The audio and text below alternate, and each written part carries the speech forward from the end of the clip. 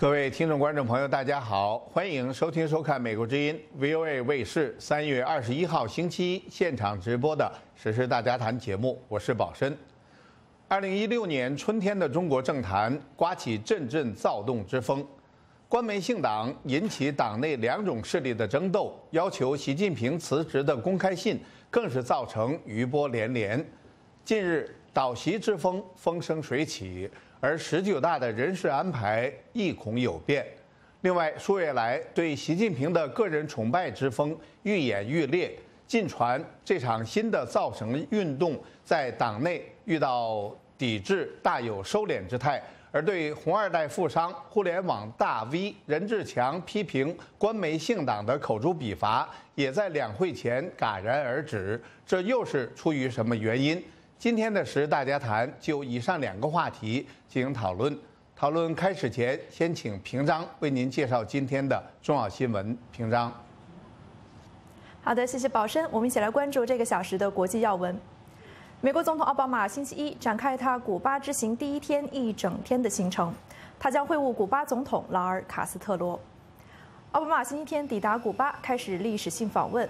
美古两国断交五十五年后，正在实现关系正常化。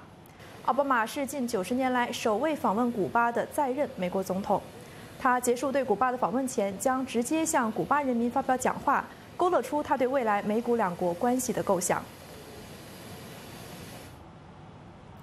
朝鲜指称美韩试图推翻其领导人，加强了展示武力的宣传攻势。中国敦促朝鲜不要违反安理会决议。同时表示反对任何有可能导致半岛紧张局势加剧的举措。下面是 VOA 卫视的新闻报道。韩国的朝鲜半岛和平与安全事务特别代表金红云与美国国务院制裁政策协调员弗里德星期一在韩国外交部举行高层会晤，商讨如何实施对朝鲜的新制裁。美国对朝政策特别代表金城稍后加入会谈，双方讨论的议题包括如何全面实施联合国安理会有关决议，以及加大对平壤的压力等等。与此同时，韩国军方称，朝鲜星期一从咸兴市以北地区向其东部海域发射了四枚短程导弹，飞行约两百公里之后坠入日本海。此举明显是在对抗美韩联合军演。此外，朝鲜国家电视台还播放了朝鲜领导人金正恩视察朝鲜人民军登陆与反登陆演习的图像，包括东海舰队在内的朝鲜海陆空三军参加了这次演习。韩国媒体估计，这次演习是在上周四美韩年度联合军演关键决断结束时进行的。代号为“姚鹰”的美韩联合军演将持续到四月三十号。在朝鲜发射短程导弹后，中国政府星期一对朝鲜半岛的局势表示关注。嗯，我们很关切当前的朝鲜半岛的局势。我们希望呢，朝方不要做违反联合国安理会决议的事情。我们也希望呢，有关的各方都能保持冷静和克制，避免采取加剧对立和紧张的行为。针对朝鲜最近进行的核试验和火箭发射，联合国安理会三月初投票通过对朝鲜实施新一轮制裁。韩国三月八号宣布，对涉嫌与朝鲜武器项目有关联的四十个个人和三十个实体实施制裁措施，并禁止一百八十天内停靠过朝鲜港口的船只入境韩国。美国总统奥巴马在三月十五号签署行政令，对朝鲜实施新制裁。中国政府公开表示反对任何国家进行单边制裁，并提出在当前半岛局势复杂敏感的情况下，反对任何可能导致半岛局势进一步紧张的举措。美国之音 BO 卫视新闻报道。俄罗斯一家法院预计将判处乌克兰飞行员纳迪亚·萨夫琴科于二零一四年在乌克兰杀害两名俄罗斯记者的罪名成立。国际社会谴责俄罗斯对萨夫琴科的审判是一场政治骗局。萨夫琴科否认了对他的所有指控，他已经成为了乌克兰的国家英雄，并且在缺席的情况下被选入乌克兰议会。好，以上就是这个小时的国际要闻。休息一下，我们马上回来。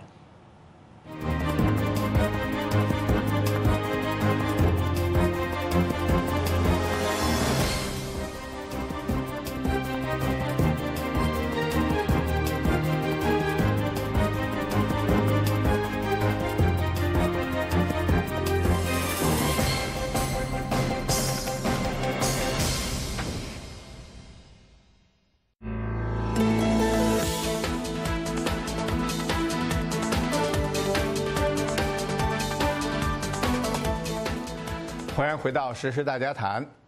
二零一六年的中国政坛刮起阵阵躁动之风，股市暴跌，货币贬值，经济下行，朝鲜核爆，南中国海冲突，民进党在台湾重新执政，香港爆发大规模警民冲突等一连串内外因素，导致政治压力徒增，十九大卡位战开始上演。关门信党引起党内两种势力的争斗，而要求习近平辞职的公开信更是造成余波连连。近日，倒习之风风生水起，而中共高层的十九大人事安排亦恐有变。今天的十大家谈，首先邀请两位中国政局分析人士对近期中国政坛局势进行梳理。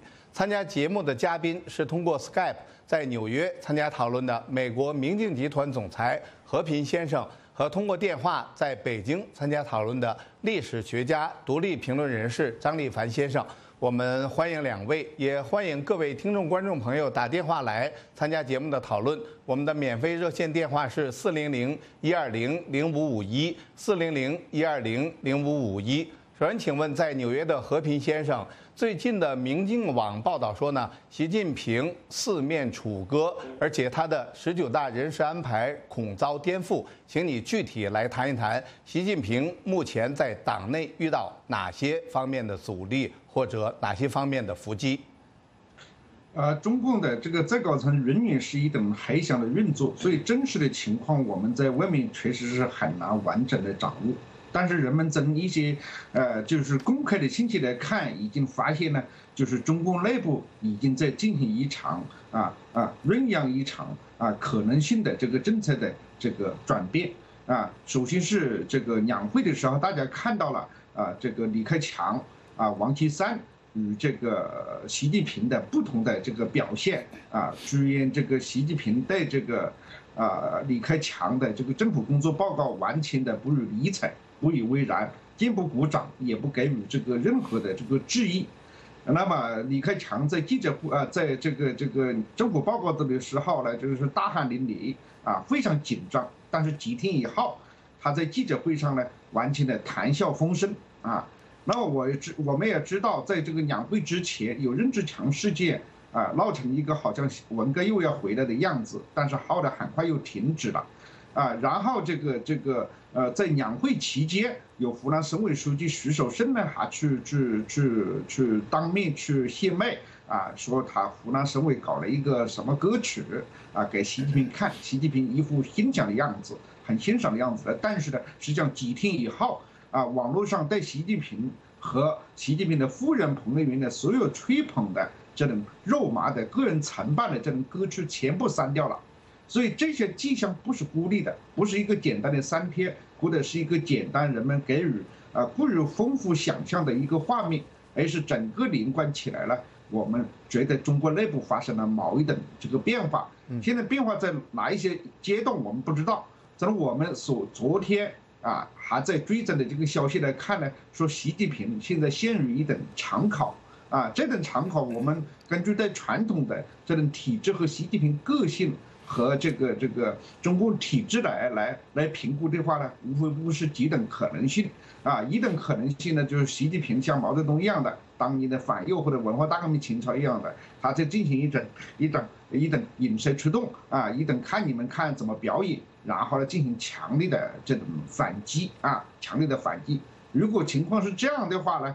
啊，他继续的去进行重让啊文革的这种作风，让这个个人承办的这种这种风气重新回来的话呢，那习近平会把自己陷入到一个极其尴尬，甚至可以说极其危险的一等一等境地。第二种情况是，现在因为北戴河会议，今年最重要的是北戴河会议啊，就是为明年的是九大呢，基本上酝酿这个权力班子，或者说呢制定某一些规则。那么十九大如果按照传统的方式来看呢，习近平是占不了多少便宜的，因为更集团的势力和原来江泽民和胡锦涛时候所培养的这种啊这种这种官僚阶层，那么十九大基本上就要进入政治局。那么习近平所培养的班子啊，从浙江来的这些人也好，从上海来的人也好，从福建来的人也好，很只有很少的人啊，才才能进入政治局，大部分人能够进入中央委员就差不多了。所以，习近平能不能打打破这个权力的框架啊？甚至呢，最好比受制于这种权力的体制，进行北戴河是一个很根本上的一种分野。所以习近平也陷入的一个非常啊需要选择一个地方，要么他就被体制吃掉了啊，就大家接受了原来的规范；要么他就大刀阔斧改变现在的这种权力的这种这种机制、这种能力啊，完全建立以他为首的，或者是他信任的这个权力班底。那么，今年北戴河会议上是一个比以前，甚至可以说比十八大更大、更艰难、更复杂，甚至更危险的一次啊一次权力斗争。还有一些消息就是说呢，习近平已经开始醒悟了啊，或者梦醒了，发现了过去的这种对他的承办之风，他所行他的某一些个人的做派做派和过去三年来的执政，是因为在反贪或者政改方面得到了某一些的啊名声。但是由于整个的法治系统仍然是是传统的法治系统，而且呢，甚至表现的比周永康的时期还要糟糕啊！所以大家都说把周永康干掉又怎么样，对不对？结果你今天的法治是抓律师、抓记者，甚至还胆敢越境去到香港抓人，已经到了一种非常疯狂的一种地步。那么习近平个人集权在某种程度上是符合政治常态的，就应该。集权，而不是呢啊，这个领导人像以前那样进行政治的常委。但是个人集权不等于个人争成败。但是习近平在过去几年来，至于引领了个人成败之风啊，所以这个引起了党内外非常大的这种反弹啊。再加上呢，这个这个啊，他其他的一些啊，这个政治上的这种表现啊，似乎有一种四面出击的一种红红卫兵的一种作风。所以在这种情况之下呢。习近平实际上陷入了一等比江泽民上台的时候，啊，比这个胡胡锦涛掌权的时候更加艰难的局面，就是知识分子、官僚阶层和商人啊，这几个几几个主要的精英集团，加上这个一部分已经啊有明智的这种老百姓，明智已开的老百姓啊，那么呢，对习近平是离心离德啊，所以在这种情况之下，习近平是华丽的转身。在这种压力之下，还是继续的啊，这个倒行逆施啊，即使在在未来几天，或者是未来一段时间，变得非常的啊，这个这个关键啊。但是呢，好处就在于中国的政局终于迎来了一个可能啊转换的一个机会啊。但是往哪个方向转，我们现在还没有完全的把握。好的，张林凡先生，最近呢，在中国国内流传着一一个非常好玩的说法。就是不到北京不知道文革在搞，不谈南海不知道中国的朋友这么少，不开两会不知道习近平和李克强的关系这么糟。请你谈一谈最近中国政局，你对中国政局的感触？呃，其实我没有什么特别的感触，因为有好有好些问题，我在可能三年前。甚至更早一些时候，我就已经预言过，所以那个我只是看到我预言的事情一件一件不幸严重。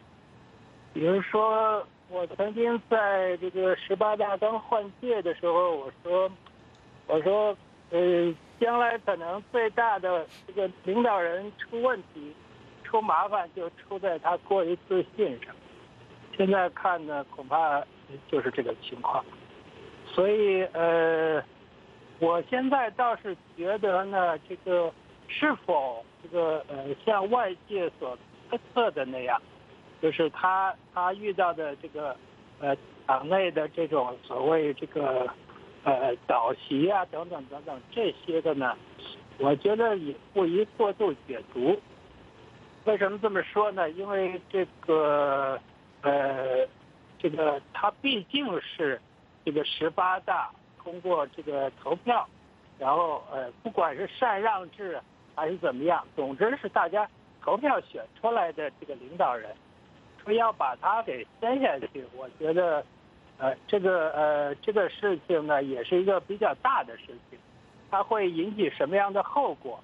我觉得可能体制内虽然有很多人当初可能后悔。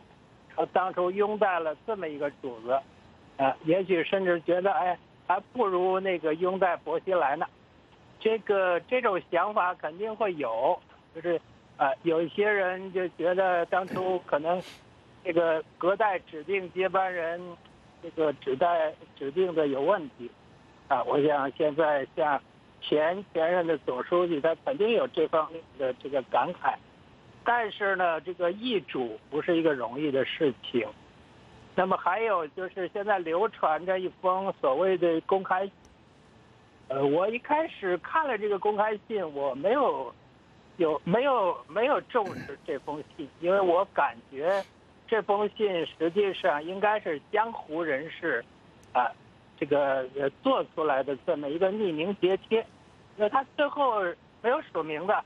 就是一群什么忠诚的共产党员，所以这类的东西本来就是不值得重视的东西，但是没想到这几天，哎，由于这个呃媒体人贾家的失踪，然后呢，现在大家在分传，呃各种的呃可能会牵扯到谁，牵扯到谁，这样呢，这个这封信现在就被反复的提起。然后呢，甚至这封信的这个传播，比那个他刚出来的时候还要广泛。那我倒觉得这事儿有点蹊跷了。这原来很可能是江湖，江湖上弄了一份这个匿名信、匿名贴贴，拿一支箭，一箭射到了庙堂，然后呢，引起了庙堂的一阵混乱，就要就要开始要查，这一查反而把这个事情给闹大了。所以我觉得这个事儿有点像这个铜锣湾这个症候群，这铜锣湾就是犯的这个毛病，本来没有多大的事儿，一点花边新闻，哎，然后呢传了本什么这个黄色小书，然后呢这个，但是呢可能一下子，呃，这个变成一个大事儿了，然后呢几乎所有的人都在说，啊，说这本书里的某些内容。那就变成这个这个事情变成欲盖弥彰，那这一次也是一样，就是我不知道啊，这个这种愚蠢到底是来自何方的愚蠢，是是真的愚蠢还是真的高级黑？我现在搞不清楚了。为什么呢？就这个做法本身确实是欲盖弥彰，但是呢，它的目标到底是什么？我觉得可能有多种解读。一种解读，呢就是这个庙之上震怒，一定要彻查，但是呢，彻查呢可能起了相反的效果，就是造成了大家都在，人人都在这个问那封信是怎么回事，所以这个效果就是适得其反。嗯。那么当然，这个呃，也体制内可能也有一些不满于这个领导人或者想想要对他搞小动作的人。那也可以利用这封信，来这个扩大影响，造成一种啊这个导离呃导袭的这种势头。我觉得这种做法，呃也是可以从逻辑上也是成立的。所以我觉得我们现在不要急于下结论，就是说一定这个体制内会形成怎么样一种联盟。虽然我们我以前也讲过，我说他把各方神圣。都得罪了，所有派系的奶酪都动了，但是有一点很重要，就是他和王岐山的政治联盟，这一点呢，当然通过任志强事件，我我我们可以感觉得到，就是他跟这个最高领导人和王岐山的政治联盟，这个联盟不能发生问题，这个联盟如果发生问题，那么十九大的人事，如果缺了王岐山的票，可能就很难安排。嗯，所以我想在这个问题上，呃，可能会有磨合，可能会有一定程度的这种呃策略上的调整，但是马上说就立马会倒席，我觉得没有这么快，大家都没有准备好。好，接下来我们接听几位听众观众打来的电话，看看他们对当前的中国政局有什么看法。首先是河北的张先生，张先生您好。嗯，你好。呃，李克强讲触及利益比触及灵魂更难。呃，李克那个习近平打虎可能触及了一些人的利益，中国的经济滑坡也触及了许多人的利益。这个退休职工涨工资由百分之十降到百分之六六点五，又触及了许多退休职工的利益。所以说，习近平受到一些批评。我希望习近平呢，真正本着一个正向。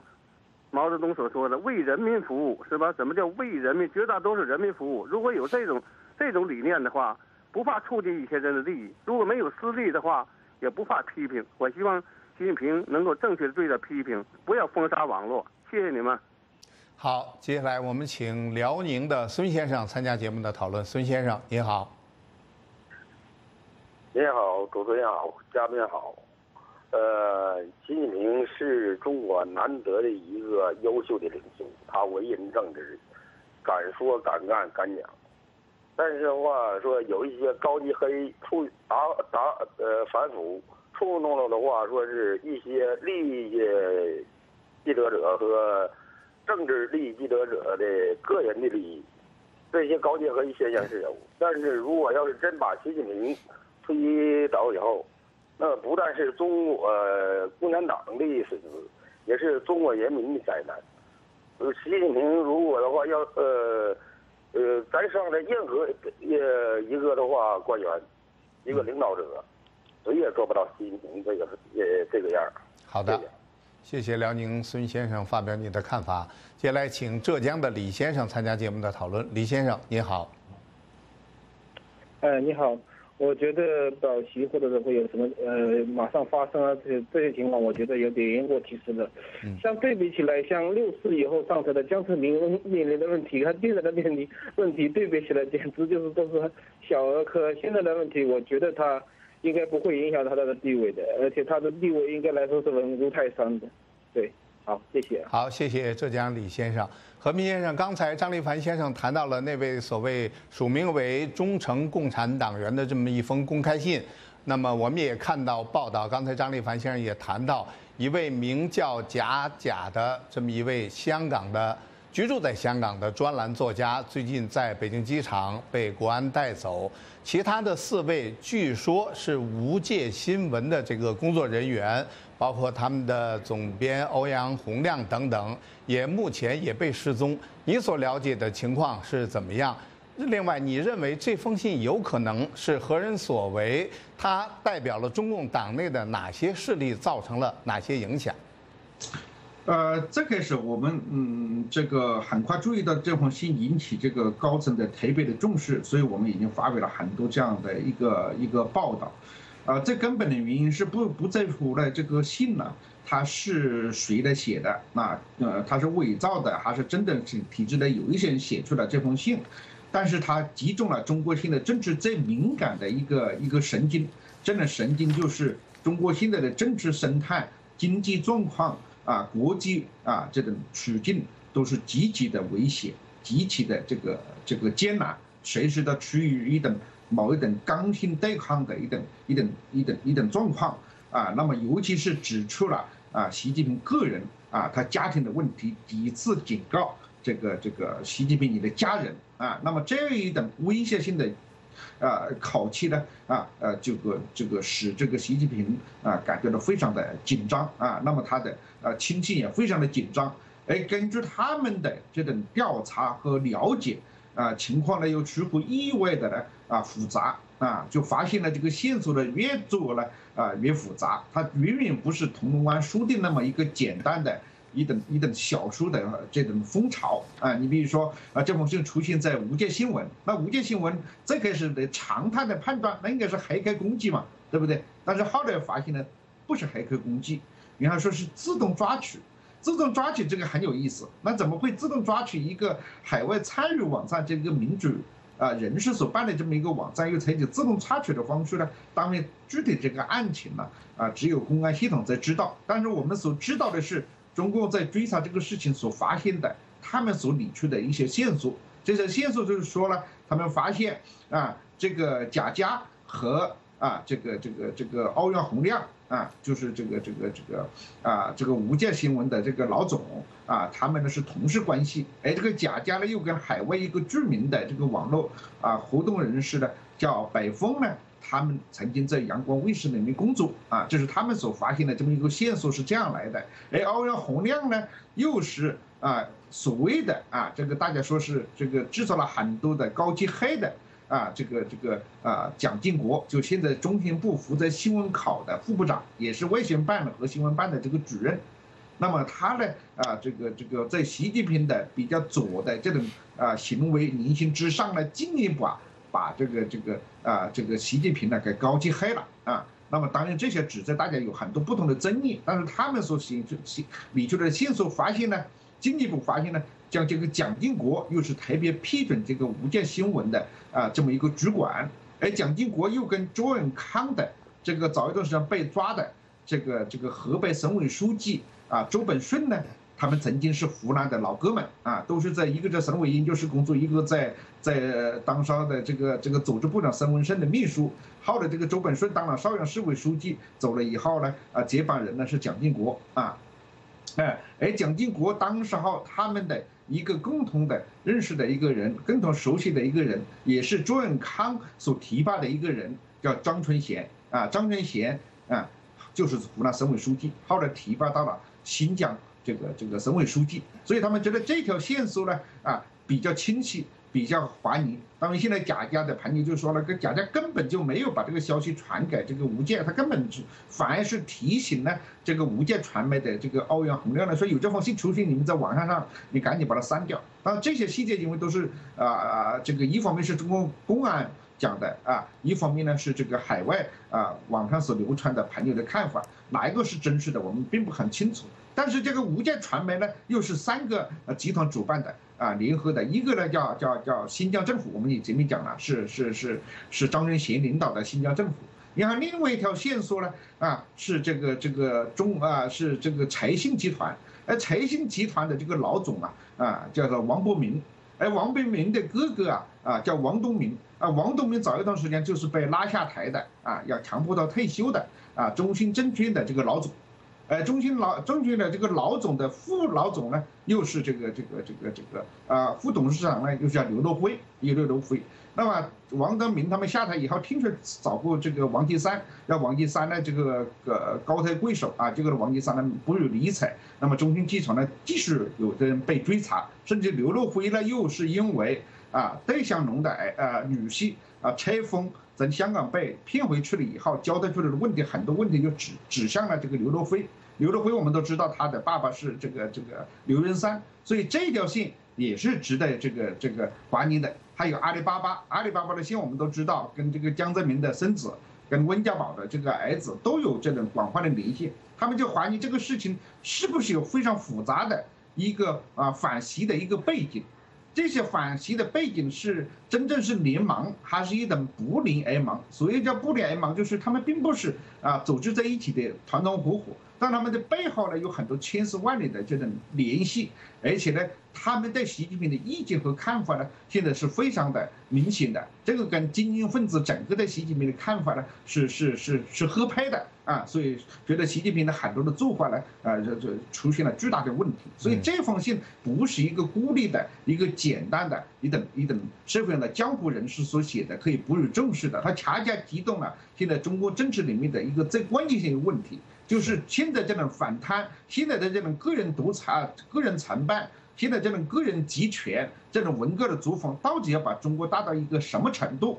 那么以这个路线斗争呢？啊，讲老实话，就已经露出了苗头。当然，这个路线暴争呢，后面隐藏的更更根本的利益，就是说十九大大家怎么分饼啊？所以这个一个是十九大怎么分饼，第二个是政治上到底采取什么一种新的路线？实际上，这封信呢是一个隐信。就把原来所潜藏的问题、潜在的、潜藏的这种矛盾呢，给爆发出来。所以这个不是一个说啊，嗯，不是像张先生讲的那样，好像是一个小事情，不能去追查。但是站在他们统治者的角度来讲，他们比我们要紧张啊。我们是一个普通老百姓，没什么了不起的，我们是担心吃饭的问题，他们就担心他们的权利，而权利的后面就是安全啊。哎，这个呃，习近平会不会下台？那这个我当然是认为，现在说为时太早。但是这个事情迫使习近平在做出某一些决策的力量，确实已经形成了啊！这个是比过去、比两会之前没有出现过的政治气氛。好，看来确实是非常的错综复杂。就再接几位听众观众打来的电话。山东的孔先生，您好，您在我们的节目当中了。哎，你好，呃，大家好。我想啊，人类的进化。中国的进步，这是自然规律呢，还是某个人、某党的作为？希特勒、斯大林、毛邓，按说比习近平有本事吧？其结果呢都成为了历史垃圾。习近平装糊涂也罢，真糊涂也罢，他真的对中国的进步起到能起到关键的作用吗？你看看苏共的灭亡，国民党的脑血栓，我们的习总真能治中共的癌症晚期吗？这是我的问题。谢谢，再见。好，谢谢山东孔先生。接下来是吉林的于先生，于先生你好。哎，你好，主持人好。呃，我的观点是啊，呃，历朝历代呀，这个他都要这个权力争斗。嗯。那么习近平啊，他不可能都受百分之百的人的拥护和爱戴。嗯。所以说呀，我认为自从盘古开天地、开天辟地呀，三皇五帝到了如今。那么，习近平，他是世人评价的，他的正面是大于他的工作，那是将来历史会有一个正确的评评判的。那么，美国之音让美国之音来主宰中国，呃，让这个奥巴马，让这个这个写这个这个这个世界上的普京。都来上中国来轮班执政，看看怎么样来治治理中国。好的，谢谢吉林的于先生。接下来是浙江的黄先生，黄先生你好。哎，你好，嘉伟好，主持人好。你好。刚才那主持话题，我简单这里简单介绍一下子啊。嗯。习近平确实是处于很危险的状态之中，因为习近平他在前段时间政治局开会的时候，他是做做了个安排，人事人人事安排。如果习近平出问题，那就由李克强接班；李克强出问题，就由王岐山接班。嗯。如果这三个人同时出问题，就由中央集体领导出班。所以说，习近平意识到这个他的他的危他的人生受到很大的威胁了。嗯。但是呢，胡锦涛呢，零六年胡锦涛呢在山东广海，也差点就遇刺身亡。这件事，我想在大陆很多很多人都知道。因为中共呢，它内斗权力呢是非常严激烈的。所以，习近平如果想保住自己，那只有一个方法：开放党禁，让不同的党派参与竞争。让那些阴谋小人啊，他们没有武器可乘。嗯，这是保住他的最唯一的方法。好的，谢谢浙江黄先生发表您的看法。接下来是云南的周先生，周先生你好。呃，你好，你好。呃，呃，最近那些什么，呃，习大大、彭妈妈那这一类的这个这个肉麻的吹捧确实少了。呃，看样子这个这个他的反对面，嗯，占占据了一定的优势吧。嗯那我想，我想，呃，向嘉宾要提提个问，提两个问题。一个是，他这个这种宣传、这种个人崇拜的，到底是他自己的目的呢，还是他的对立面？你比如说是宣传中宣部那种，呃，故意故意抹黑他，故意搞搞搞的，要搞搞臭他这种。还有第二个问题是，他现在这种斗争，呃，可能出现什么情况？第一个呢是，呃，就是。道德一致网破，呃，另外一种呢，可能互相妥协，呃，达成某种平衡，到底哪种可能性更大？更大一点？好，谢谢。好，谢谢云南周先生，请在北京的张立凡先生来回应一下。嗯嗯嗯嗯，我觉得那个呃，就是一个我回应一下，就是和平先生的观点啊，我觉得现在可能这个。嗯，呃，这个国内也经常会向这个境外媒体来喂料，所以呢，有一些问，有一些有一些东西呢，又可能是在出口转内销。在这种情况下呢，这个呃，比如说讲啊，说贾家，呃，这个欧阳洪亮，然后还有他们的这个执行主编，还有一些技术人员，然后呢，又推论什么这个。他谁曾经是谁的部下，谁曾经是谁的同事，然后一直可以牵扯到什么张春贤啦，或者是呃更多的这个什么王伯明啊这些，我觉得这个基本上是没有逻辑的，他只是根据一种这个同事关系或者工作关系来推断，当然我们不排除以往这个呃公安办案是采取过这种办法，因为我。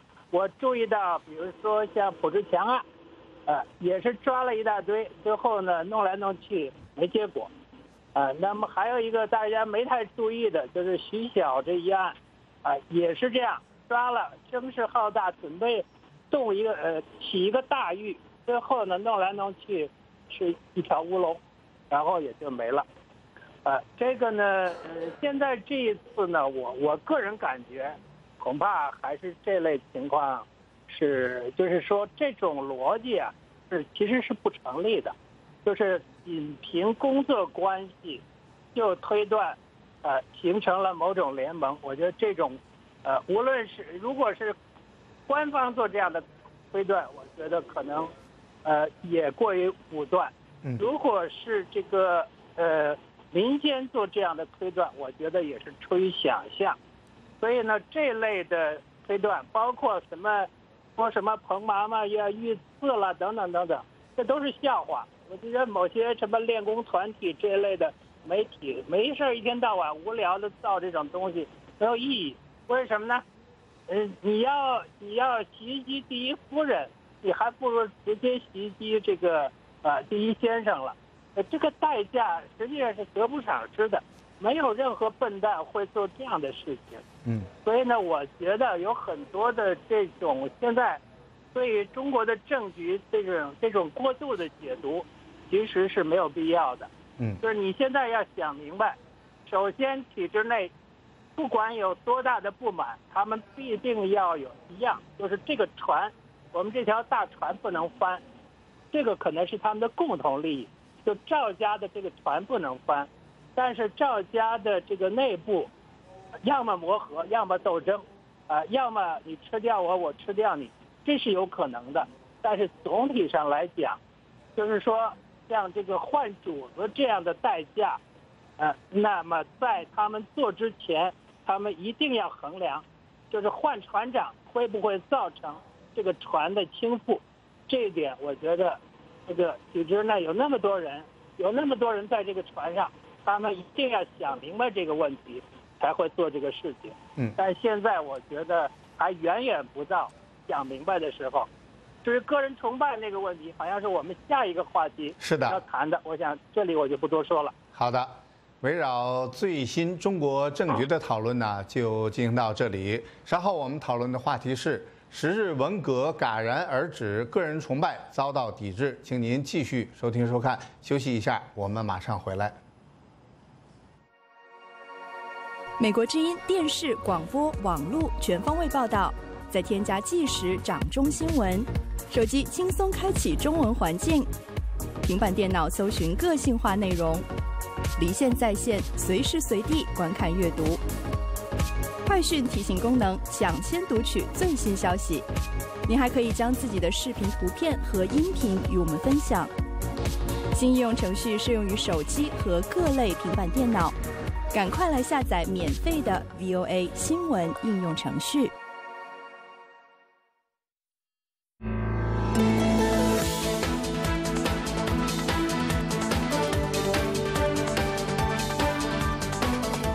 欢迎回到《时事大家谈》。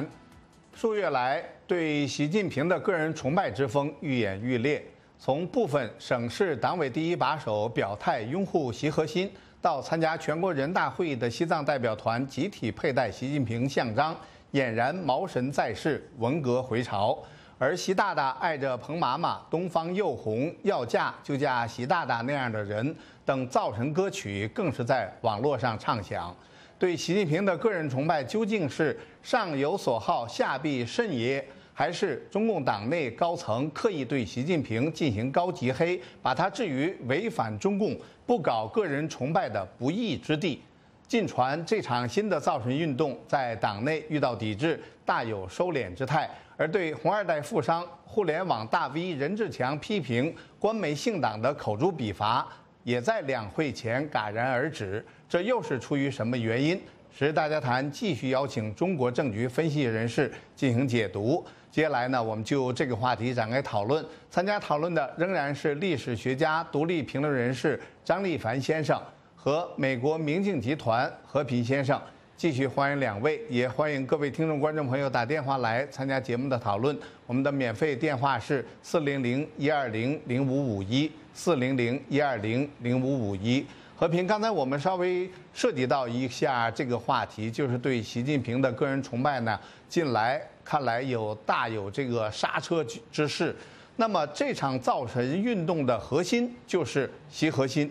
我们知道，这个有很多的一些省市的自治区的党委的第一把手已经拥表示拥护习习核心，但是在中共的最高层并没有把这个口号唱响。你认为这是出于什么样的原因？今后会不会有习核心这样一个说法？呃，我前面前面讲了，就是说习近平现在垮台的可能性，被逼下来的可能性是还是非常非常呃低的。啊，政治的这种博弈的过程中间，最大的可能性还是嗯妥协，而妥协的一个一个一个可能性的前景呢，就是啊这个这个习近平还能够继续担任这个总书记，但是呢，到二十大的时候呢，就就就基本上结束了。原来所大家所寄予希望的，那等二十大实行某一种形式的变革，要么走向独裁，要么走向民主，打破原来的这种接班的这种时间和秩序呢，就就就就可能达不到。那么，即使是在这种情况之下，那么中共领导人实际上，其实中共体制内部也有一定程度上有一点共识。这种共识就是说，作为最高领导人，权力要相对集中，要相对的能够承担起应有的责任。而不是做那种虚假的，又不承担责任的，互相又不能形成真正制约关系的所谓的这个集体领导制啊。那么这个方向是是是从政治形态来讲也是正确的，因为传统上的专制社会和一般性的这个民主社会啊，这个最高领导人的权力是相当的这个集中。但是在这个权力集中和强化过程中间，我觉得习近平是做的比较笨的啊。一个笨是啊，大家所看到了。他担任了这个无数个的这种领导小组的这种组长、组长的这种职务，这种职务就是，啊，把整个官僚体制就变得了一片混乱。因为所谓领导小组这样一种联合性的机构出现在中国的官僚体制里面都是临时性的，都是应急性质性质的。也就是说，原来的官僚系统。啊，不不灵敏了，运作不灵敏了，你还搞一个领导小组来来组合起来，那么这个习近平呢担任这么多领导小组呢，表现出他要对这些这些这个系统来进行变革，这个没有错。但是你你一不着自己亲身上战上上上战场，他又是个总指挥，他又是个冒啊这个这个叫什么啊，就是敢死队队长。啊，又是后勤部长，所有的职务都是他一个人谈成。这个历史上没有这样的笨的这个这个政治改革或者是经济改革或者领导改革的一个啊最高领导人是这么干的。毛泽东啊的时代，他也他也他也不需要经呃经营了这么多职务，所以这样就造成整个国家体系，如果习近平不到堂啊，OK，这个体系就就就就就就停止了。啊，习近平怎么会有这么多时间？怎么会有这么多精力？啊，怎么会懂得这么多的系统？所以他不知道。集权和分权的道理，不等不等到一个领导人应该把责任和权力分解他的团队，是一个团队在运作，所以它造成呢整个的官僚体制啊，现在已经停止停停几乎是停止运作，或者是陷入某种僵局。用中纪委的话来说，就是大家坐等都看上，对吧？第二个是习近平没有分清楚个人集权和个人承办的差差别，对吧？你比如像在美国的这个总统奥巴马，他的权力是相当的啊这个集中的。在行政区域里面，他是美国的最高行政长官，对吧？在行政区域里面，是他，他有至高无上的这种权利，是三军统帅啊，对吧？他是因为他的权力受制于这个国会和舆论的这个监督啊，但是呢，他呃，这个不需要通过一等个人承办呢，来来来显来显示自己的权力权威。那么，习近平在这个过程中间，把个人集权和个人承办呢分不清楚了。他认为要强化他的权力的过程中间，某一等个人的承办，而且他记忆里面深刻的这种这种文革的记忆啊，毛泽东这种录音呢，在他脑子里挥之不去，所以他很容易呢开始讲脱口而出，讲的是文革的女人啊，这个很多的行动出现了问题，跑到什么古田啊啊，跑到什么什么这个这个这个遵义啊啊，跑到什么井冈山呐，这种非常具有文革性质的这种地方呢，去显示他的这种这种力量。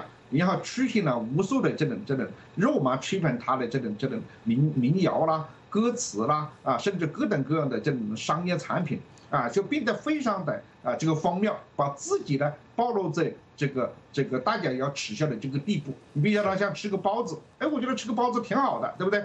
国家领导人吃个包子，就像奥巴马整天到餐馆去吃饭，奥巴马整天到华盛顿去吃饭，甚至我在住的住的附近的地方，偶尔都会看到一些照片啊，奥巴马在这个地方跟厨师合个影。他也来吃过饭，而且是个很普通的餐厅，没有人把他奥巴马吃个饭把他吹到天上去。哎，习近平吃了一个包子，吹到天上去了，好像习近平是不吃包子的，吃了包子以后他就亲民了，他就了不起了。结果把一个包子呢变成了习近平的一个外号，所以习近平所有的习近平吹捧谁，在网络上都变成一个一个笑话，这样对习近平的威信、对习近平的权威反而起了一等一等非常负面的这个这个作用。因为习近平为什么会陷入到这个最根本的这个这个这个这个这个危险的这个境地呢？主要是他的政治路线是不清晰的，不清晰。你比如你反贪，你反贪到底是干什么？对不对？你这个体制是一个贪污的体制，培养了这个贪官，这个你不去改变那些体制，你看你收拾那些官员，这是天底下没有这样的道理。但那些官员讲老实话是非常的不公平。我所以有时候我要同情那些贪官，对不对？你这个体制不改，然后你做做这样的行为，然后你这个这个权力的来源不解决，也就是说，你的最高领导人在一定程度上，你可以采取一种过渡的阶段，为了赋予某一种目标，中国是要有一个很明确的、清晰的政治目标。你这个中国中国梦是要有具体内涵的，是走向一个民主和自由的啊中国梦，还是走向你更加的独裁的一个中国梦，还是回到这种封建时代的这种皇帝梦？你不清楚的。因为你不清楚，原来你脑子里又是这些文革记忆的东西，所以造成整个的中国的社会是价值一片错乱。你看，在我们的听众里面就可以发在发现的很清楚啊。其实不仅不不是一种不同观点的问题，有的是有基本上的价值的这个取向问题。嗯，张立凡先生，在您看来，这场个人崇拜是不是目前有收敛之势？另外，你认为今后习近平有可能会放出手中一部分的权力吗？呃，这个呃，当然我们看啊，就是，呃，这个三年来这种越来越，呃，越来越热的这种造神运动啊，呃，现在可能在今年的这个春晚应该说是达到了一个高峰，然后呢，这个到这个呃，呃，这个这个任志强事件以后，这个突然刹车。那么这个事情，其实我觉得就是，无论是体制外还是体制内，大家都不希望有一个毛泽东，啊，为什么呢？因为毕竟大家都亲身经历了文革，那文革是什么？文革当然整知识分子、抄富人的家，然后呢冲击领导干部，没所有的人都没好日子过，那这种情况。就是我们也可以看到，为什么薄熙来会失败，就是那个时候薄熙来他过早的搞这一套东西，搞造神的这套东西，搞红歌会，搞搞对毛的个人崇拜，搞对他自己的个人崇拜，最后呢，引起了不仅是这个知识分子看不惯，实际上他是引起了官愤，就是体制内大家觉得受不了了，如果这个人上来。那可能这个我们大家都没有好日子过，所以呢，与其这样，我们可能就选一个还不显山不漏水，也也似乎也没什么政绩，啊，这个也这么一个人上来，呃，可能比这个选一个剑拔弩张的薄熙来上来要好。所以呢，但是十八大换届以后，我们就发现了不是这个情况。可能这个呃，包括这个呃前前任的总书记啊，江总书记，他们这些人也发现了，哎，他们忽然发现，本来可能这个这个薄熙来他只是一个机会主义者，但是不幸我们选了一个原教旨主义者，啊，这种情况，我觉得可能他们认为，确实是一种灾难，那。这个这个时候可能呃这种感觉啊，随着这种造神运动，随着这种权力的越来越集中，可能大家都感到了不适应，感到了这个毛泽东的幽灵没有散去，感到了这个文革的脚步，又在一步步重新呃回来，所以在这个时候，就在这个当口，突然刹车了。为什么呢？再不刹车，因为我想这个大家会有个比较。我上次也讲到，实际上就是有两个误区，一个误区就是想成为毛泽东那样的领袖，啊，有在在体在国内有权威的神一般的领袖；第二个就是想在国际上成为普京那样的世界性的领袖。这两个实际上是一种超价妄想，啊，是不太可能实现的。嗯。但是呢，如果你想这样做的话，可能大家就会离你而去。为什么？原来大家可能就是，呃，这个敢怒不敢言，或者不敢怒不敢言。忽然有一个小孩他喊了一声，他没穿衣服，这个时候大家就哄堂大笑，然后一哄而散。嗯。啊，可能会出现这样的情况。好的。那么当然，现在我觉得这个个人崇拜其实就到了这个程度。嗯，好，接下来我们再来接听几位听众观众打来的电话。北京的王先生您好，您在我们的节目当中了。哎，你好，你好，啊，你好。首先，我觉得和平先生曾经多次在《十大家谈》节目中说到，中国不会发生文革。我不知道和平先生今天您看你在此，我想跟你探讨一下，通过那十来天的对任志强的那种批判，你不觉得那是文革的阴魂又附体了吗？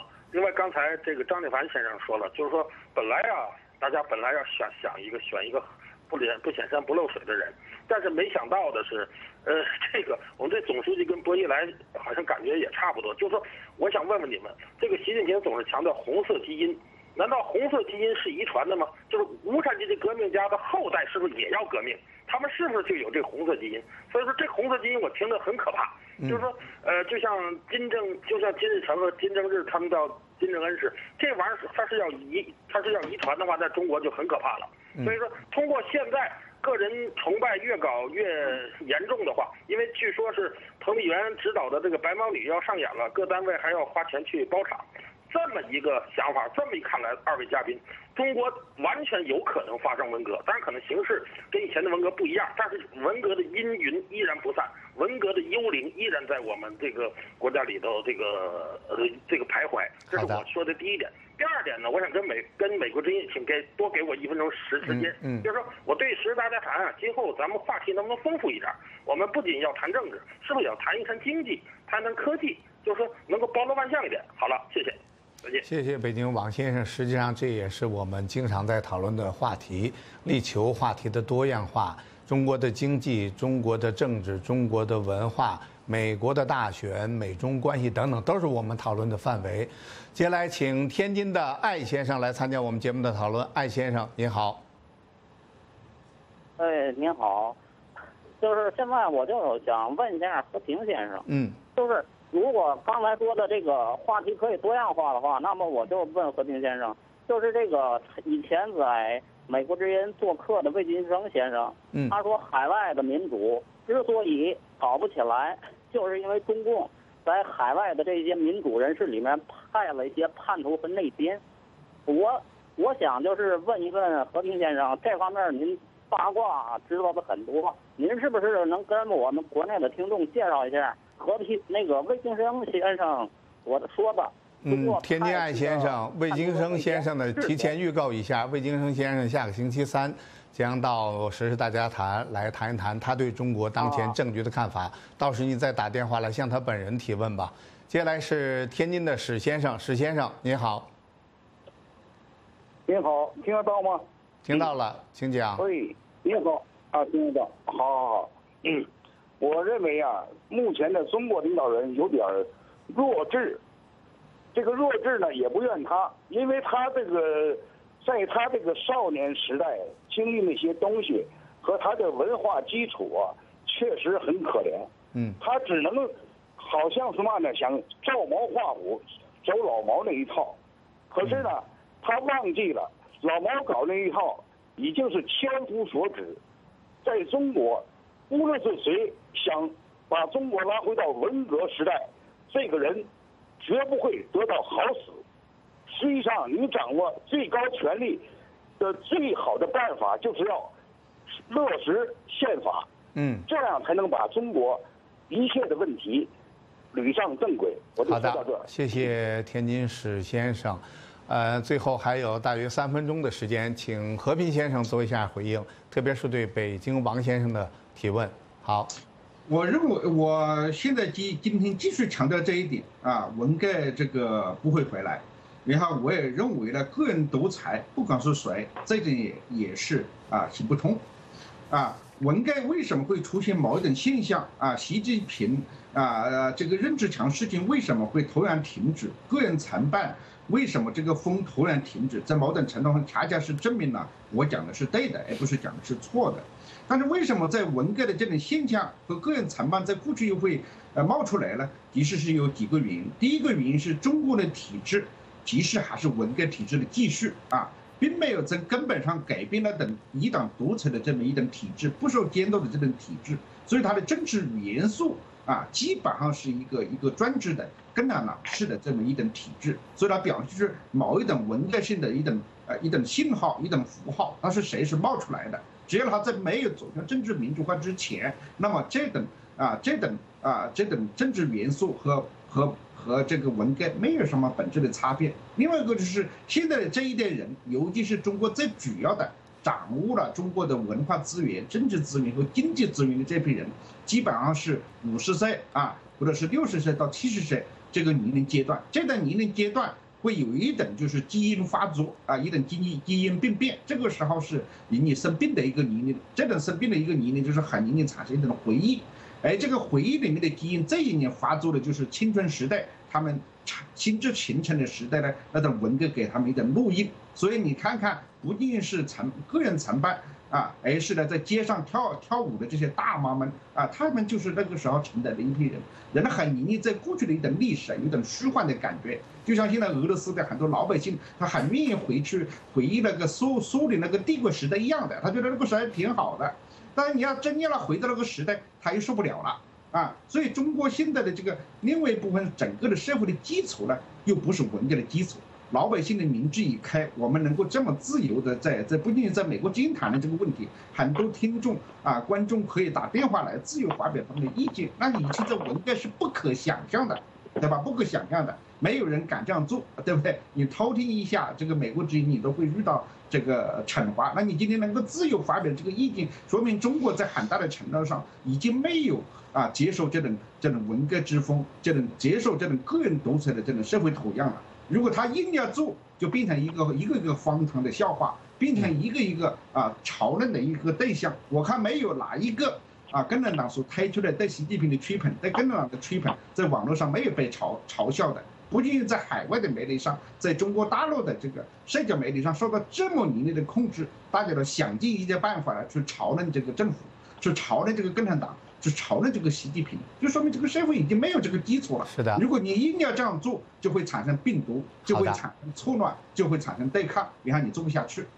好的，时间的关系，今天的时大家谈的讨论到这里就结束了。感谢美国明镜集团总裁何平先生和历史学家、评论人士张立凡先生参加节目的讨论。时大家谈是一个自由的论坛，客人和听众、观众发表的都是个人观点，不代表美国之音。以上就是今天 VOA 卫视《实时大家谈》的全部内容，感谢您的收听收看。另外，请使用美国之音中文网站上的电视节目预告，点击卫视留言板，你又可以对即将讨论的话题提出问题或者发表评论。我们期待您的留言。你也可以到美国之音征名论坛在 Facebook 或者 Twitter 的账号上发表您的看法，网址分别是 Facebook 点 com。斜杠 VOA BBS 和 Twitter 点 com 斜杠 VOA China，我们期待与您有更多的交流和互动。明天的时大家谈节目将讨论的话题是中国铁煤行业跳楼、倒闭下岗，考验中共，以及中共是否在滥用国家安全法。请在北京时间晚上八点到十点准时锁定 VOA 卫视，我是宝申，我们下次节目再见。